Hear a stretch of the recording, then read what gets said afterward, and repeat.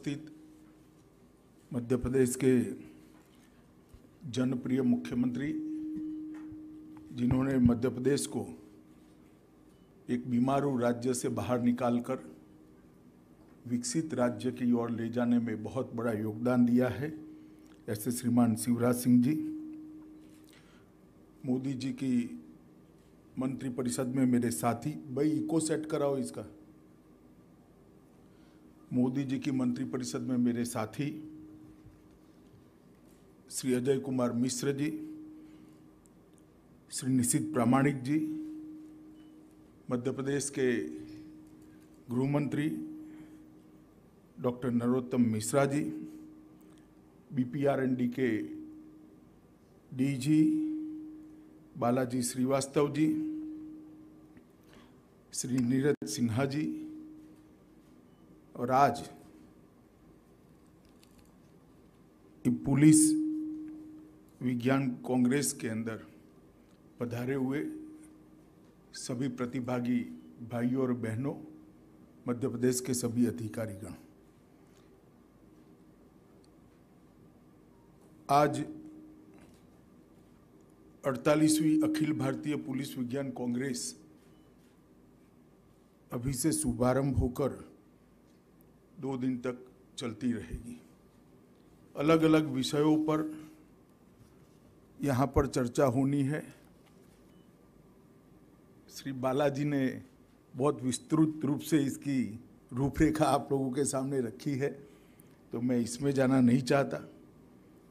परंतु लखनऊ पुलिस कांग्रेस के बाद ये पुलिस साइंस कांग्रेस जो मध्य प्रदेश में हो रही है। बीच में हमारा देश और दुनिया एक बहुत कठिन काल से गुजरे हैं। सदी की सबसे भीषण और जानलेवा महामारी का सामना देश ने किया है, दुनिया ने किया है। दुनिया में, देश में लाखों लोग मृत्यु के शरण हुए हैं। और कोरोना के समय में देश भर में लगभग चार लाख से अधिक पुलिस कर्मी और सीएपीएफ के कर्मचारी अधिकारी भी संक्रमित हुए। लगभग 2700 से ज़्यादा लोगों की मृत्यु भी हुई। और इस कालखंड के दौरान देश की पुलिस का एक अलग प्रकार का चेहरा देश की जनता के सामने आया है। पुलिस का कार्य कभी भी प्रशंसा के पात्र है, इस प्रकार की बात बहुत लंबे समय से सुनाई नहीं पड़ती थी, मगर मैं आप देश भर के पुलिस बल को अभिनंदन देना चाहता हूँ कि जहाँ पर भी जाते हैं, पुलिस बल की, कोरोना की कार्यवाही की भूरी भूरी प्रशंसा हो। पुलिस का एक मानवीय चेहरा और आपदा के समय पुलिस क्या कर सकती है?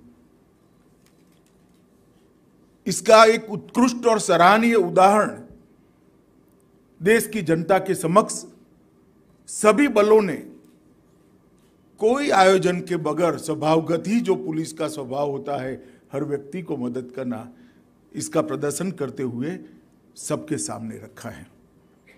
मैं आज जो सत्ताईस बारह जवान अपनी ड्यूटी निभाते निभाते प्रथम पंक्ति में महामारी का सामना करते करते अपनी जवा, जान गंवाए हैं। वो सभी को विनम्र श्रद्धांजलि भी देना चाहता हूँ। क्योंकि उन्होंने कोरोना का सामना प्रथम पंक्ति में रहकर करा, लोगों को मदद करने के लिए किया, किसी को खाना पहुँचाने के वक्त कोरोना लग गया, किसी को अस्पताल ले जाने वक्त लग गया, किसी के अंतिम संस्कार में मदद करते वक्त कोरोना लग गया और वो भी मृत्यु की शरण में गए। वो सभी परिवारों के प्रति भी मैं अपनी संवेदना प्रकट करना चाहता हूँ और ये सभी सत्ताईस बारह जवानों के प्रति श्रद्धांजलि अर्पित करता हूँ। मित्रों, आज अखिल भारतीय पुलिस विज्ञान कांग्रेस जो हो रही है, इसका आगाज़ हो रहा है। अखिल भारतीय विज्ञान कांग्रेस का पूरे देश की पुलिसिंग में बहुत महत्वपूर्ण योगदान है। दो दृष्टि से महत्वपूर्ण योगदान है। हमारे संविधान में पुलिस को राज्यों का सब्जेक्ट, आंतरिक सुरक्षा को राज्यों का विषय माना गया है। और ये सर्वथा ठीक ही भी है, इसमें कोई बदलाव की ज़रूरत नहीं है। परंतु जब संविधान बना तब से लेकर आज तक, देश के अपराध और देश के पुलिस के सामने बहुत बड़ी चुनौती आई है। अपराध की दुनिया के में बहुत नए नए आयाम भी जुड़ गए हैं।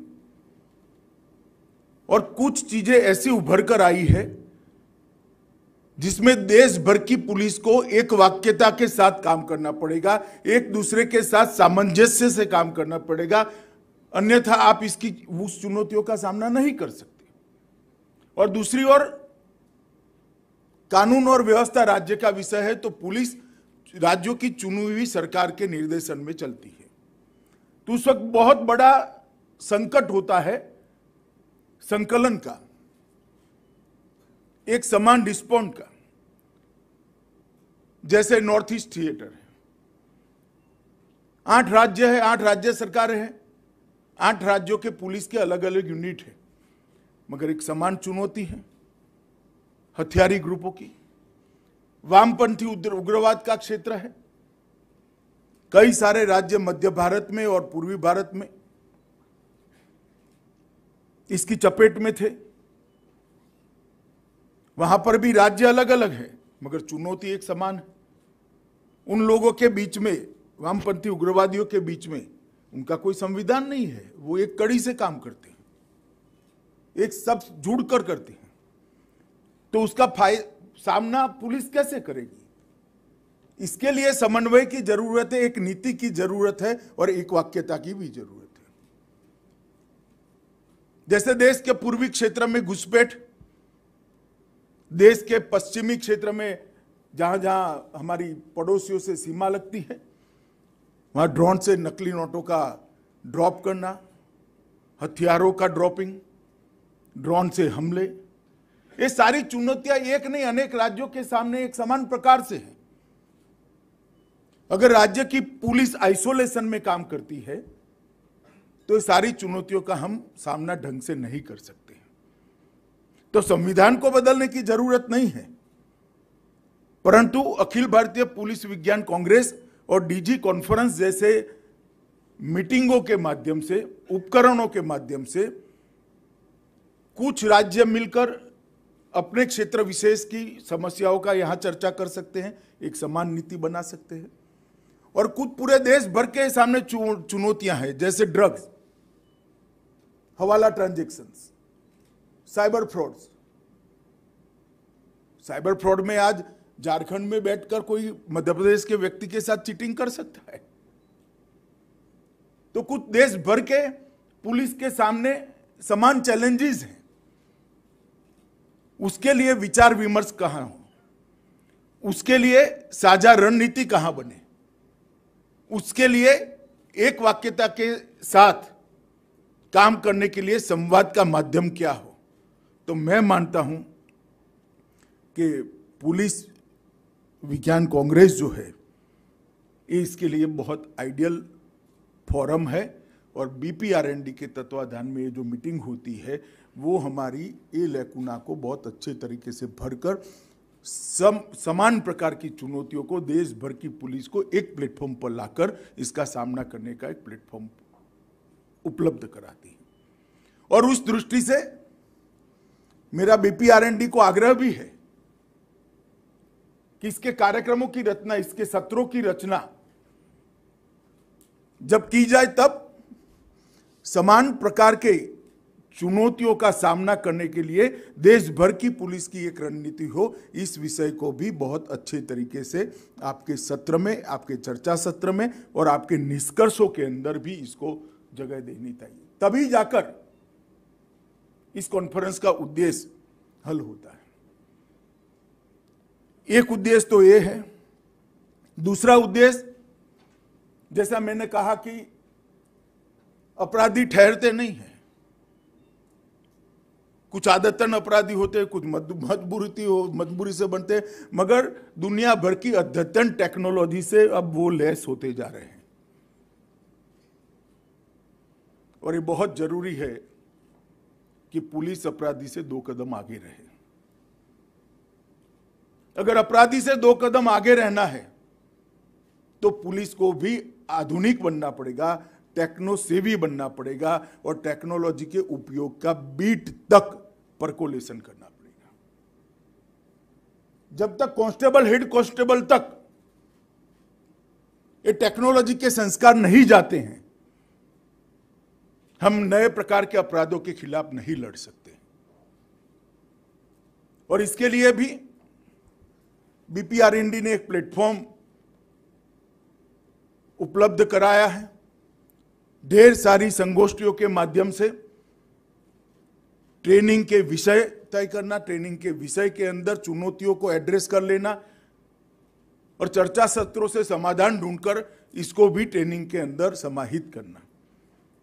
और देश की पुलिसिंग में धीरे धीरे धीरे, देश भर के देश की पुलिस में ये परिवर्तन विगत दस सालों में हम अच्छे से देख रहे हैं।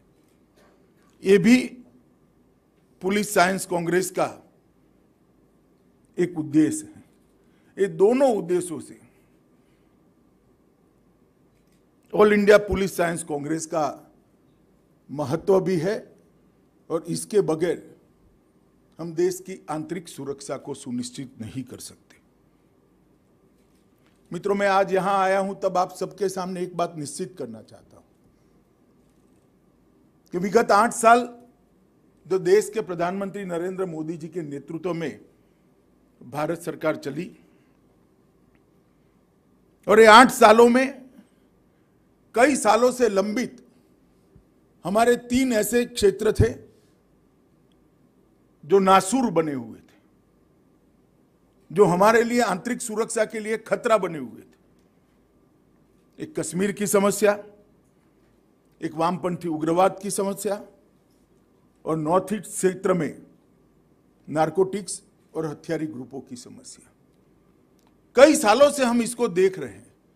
यहाँ कुछ रिटायर्ड अधिकारी भी है, उन्होंने जब सर्विस में ज्वाइन हुए तो तब भी ये समस्या सुनी होगी और रिटायर हुए तब भी इसको टाटा कर कर निकले होंगे।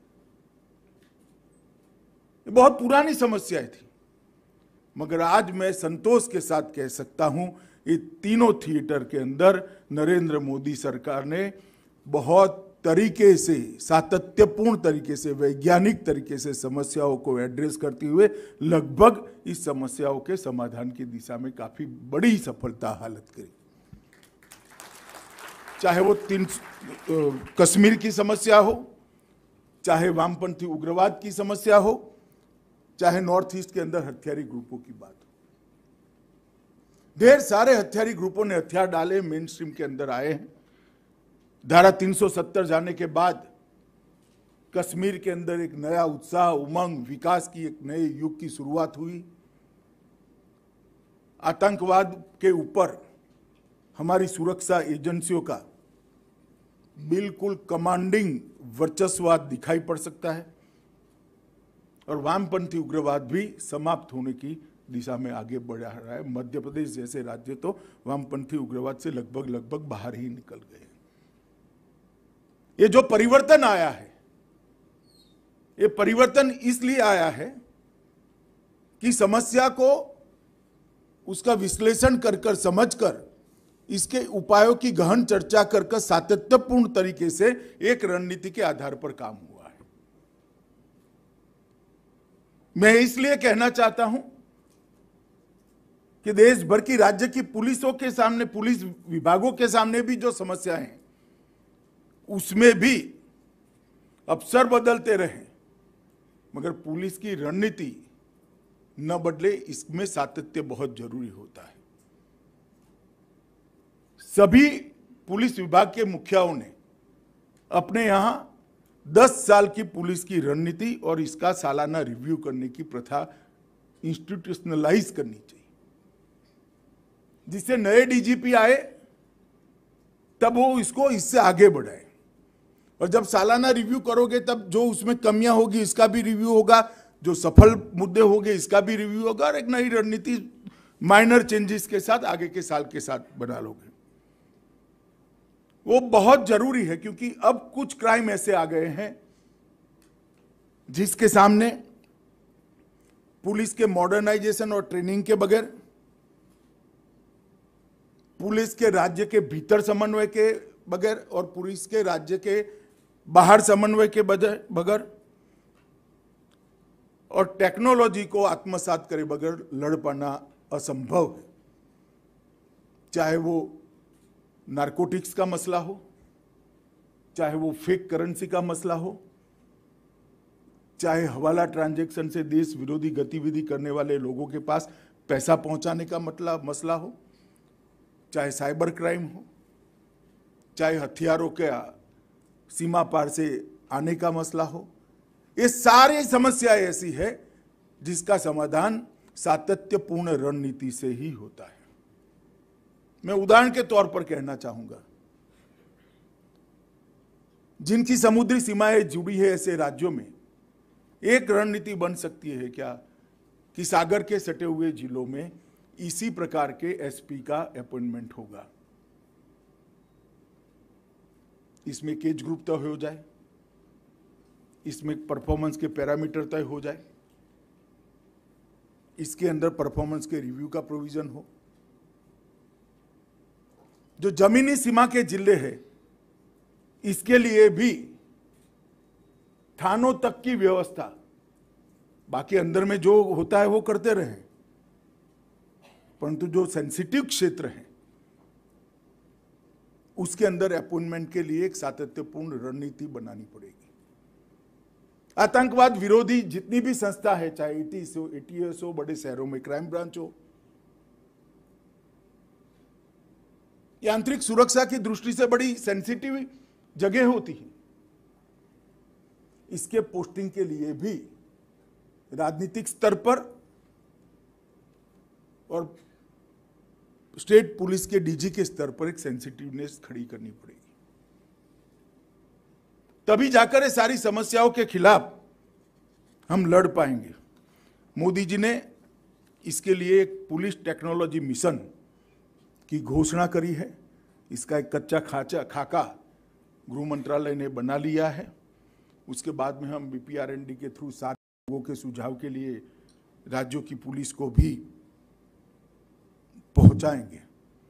इसके माध्यम से ढेर सारी चीज़ें एक समान रूप से पूरा देश पूरा देश की पुलिस पुलिस का हर थाना सज्ज हो सके।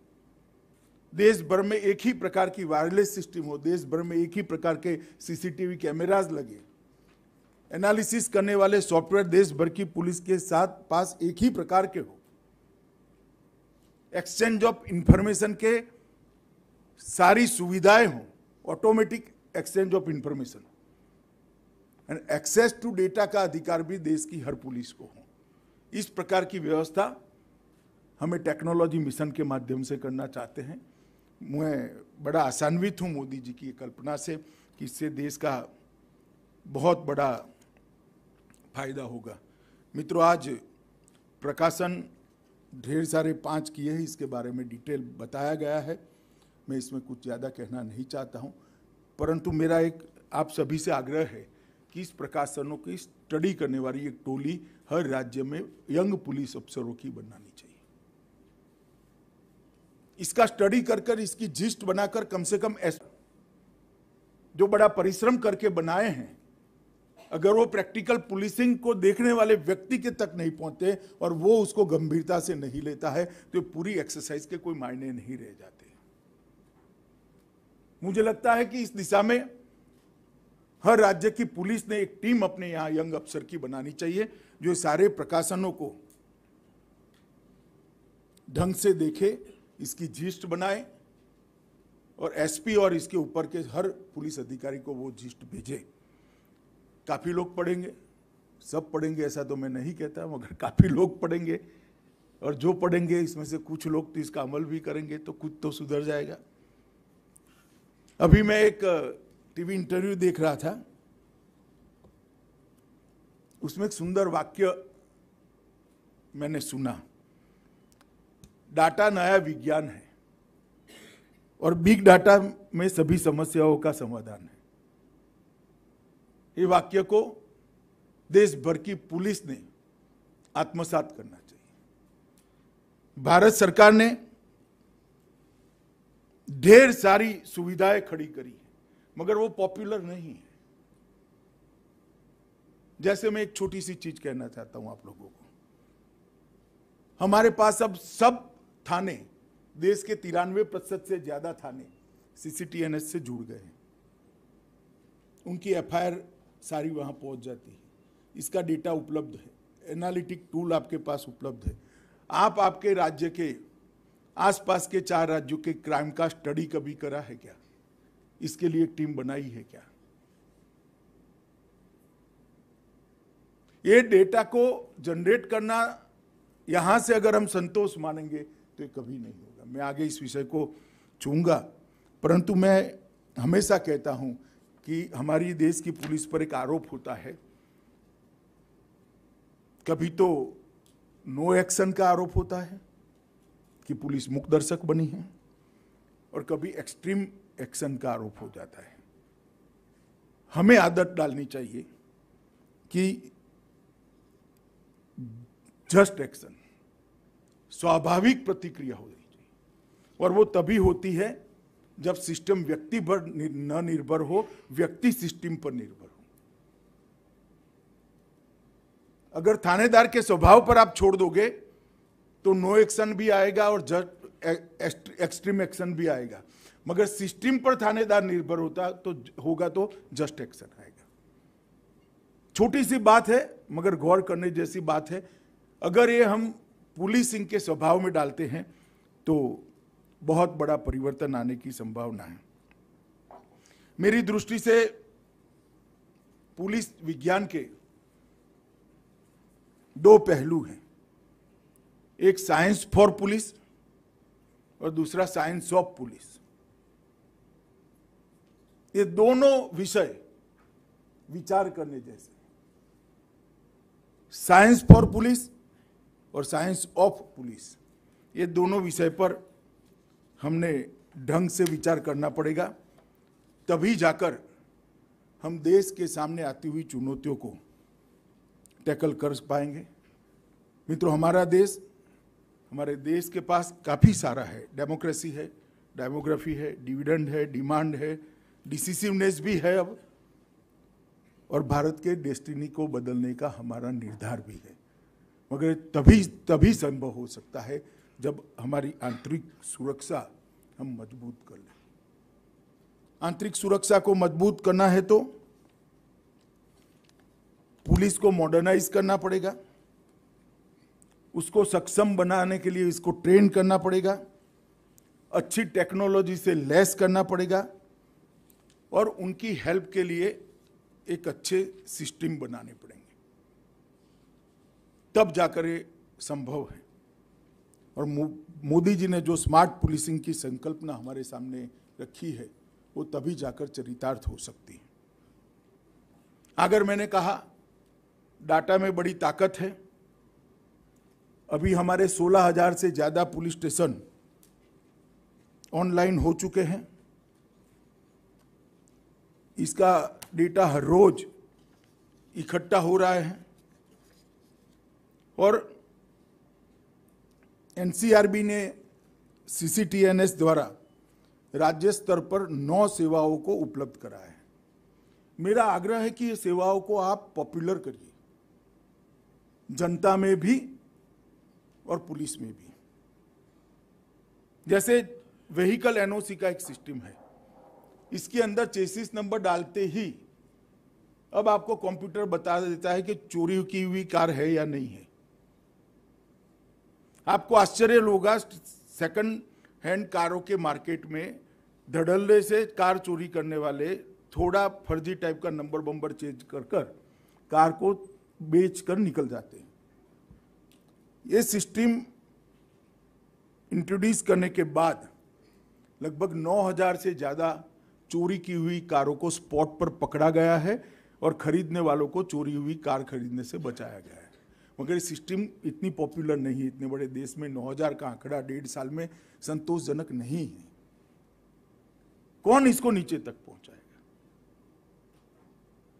और ऐसी कॉन्फ्रेंस के माध्यम से ही ऐसी चर्चा होकर ये नीचे परकोलेट हो मिसिंग पर्सन सर्च का जो हमारा सर्च इंजिन बनाया है एनसीआरबी ने अपने डेटा में से ही खंगाल कर निकाला है।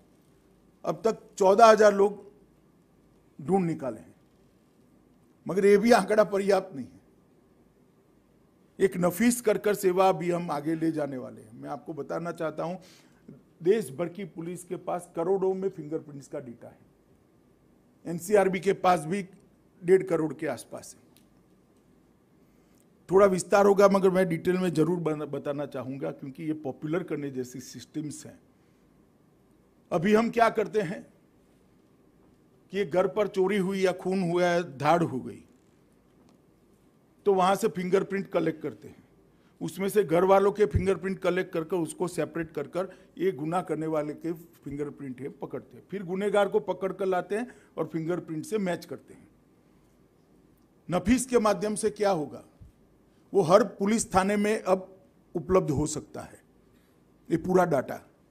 तो जैसे ही घर से चोरी करने वाले का या खून करने वाले का फिंगरप्रिंट उपलब्ध हुआ, उसको कंप्यूटर में डालेंगे। अगर वो डेटा में है तो डेढ़ मिनट के अंदर वो सर्च कर कर आपको नाम दे देगा कि फिंगरप्रिंट फलाने व्यक्ति का है। तो चोर को पकड़कर सजा कराने के लिए फिंगरप्रिंट का उपयोग करने की जगह चोर को पकड़ने के लिए ही फिंगरप्रिंट का उपयोग होगा। फिर तो आपको वो व्यक्ति को ढूंढना है। कितना बड़ा अंतर आएगा, बताइए। परंतु ये सिस्टम तभी ऑपरेट हो सकती है जब आपके थाने की ट्रेनिंग के अंदर का ये हिस्सा हो। सीसीटीएनएस की जितनी भी सेवाएँ हैं, नौ की नौ सिटीजन सेवाओं को हर थाने तक पहुँचाने का काम देश भर की पुलिस ने करना चाहिए। इसी तरह से एनआईओ को हम आतंकवादी मामले, नारकोटिक्स के मामले, बम विस्फोट के मामले और विमान अपहरण के मामले, ये सभी मामलों में एक डेटाबेस का स्तंभ बनाने के लिए ऑर्डर किया है। ये भी लगभग लगभग दो तीन महीने में समाप्त हो जाएगा। मेरा आपसे अनुरोध है, सारी एफआईआरों पर, ये सारे डेटा पर स्टडी करने के लिए आपके आतंकवाद रोधी दस्ते को आपने एक्टिव करना चाहिए। नारकोटिक्स के मामले में एनसीबी को डेटाबेस तैयार करने के लिए कहा है। और आईसीजीएस के अंदर inter operable criminal justice system के अंदर भी ढेर सारा डेटा तैयार हुआ है। यौन अपराधियों के राष्ट्रीय डेटाबेस एनडीएसओ भी तैयार किया है। परंतु ये सब तभी उपयोग हो सकता है जब इसको थाने की पुलिस की ट्रेनिंग का हम हिस्सा बनाएँगे। ये मैंने साइंस फॉर पुलिस के लिए कहा है। साइंस ऑफ़ पुलिस इसके लिए medical science, forensic science, management science, arm science और कम्युनिकेशन साइंस। ये सारे विज्ञान के उपयोग को, ये पुलिस के ही विज्ञान है। इसको हमने आगे बढ़ाना पड़ेगा। और मोदी सरकार ने दो बड़े कदम उठाए हैं। नेशनल फॉरेंसिक साइंस लेबोरेटरी बनाई, अरे, यूनिवर्सिटी बनाई है, जिसकी अब तक सात राज्यों में एफिलेटेड कॉलेज खुल गई हैं। शिवराज जी भी यहाँ खोलने वाले हैं मध्य प्रदेश में भोपाल के अंदर। इसका उपयोग हम लोग करें। और आईपीसी, सीआरपीसी के जो अमेंडमेंट्स आने वाले हैं, इसमें छह साल से ज़्यादा सजा वाले सभी गुनाहों में फॉरेंसिक एविडेंस को हम कंपलसरी करने वाले हैं। मगर ये करना है तो आपके पास इसके लिए ट्रेन ट्रेन मैन पावर चाहिए। कहाँ से आएगा? इसीलिए एडवांस में फॉरेंसिक साइंस यूनिवर्सिटी बनाई। और रक्षा शक्ति यूनिवर्सिटी भी रक्षा के साथ जुड़े हुए विज्ञान के सारे मामलों के एक्सपर्ट खड़े करने के लिए बनाई। है मेरा तो सभी राज्यों के महानिर्देशकों से निवेदन है कि आपके राज्य में दोनों यूनिवर्सिटी के एफिलेटेड कॉलेज का आग्रह आप आपकी राज्य सरकारों को करिए। जिससे पुलिस के क्षेत्र में एक्सपर्ट्स आपको अवेलेबल होगा। एक बात समझ लीजिएगा, अंग्रेज़ों के जमाने के डंडे के पुलिसिंग का युग अब समाप्त हो गया अब नॉलेज बेस्ड पुलिसिंग करना पड़ेगा एविडेंस बेस्ड पुलिसिंग करना पड़ेगा, और तर्क के आधार पर पुलिसिंग करना पड़ेगा। और इसमें साइंस पुलिस के साइंस को भी हमने बदलना पड़ेगा।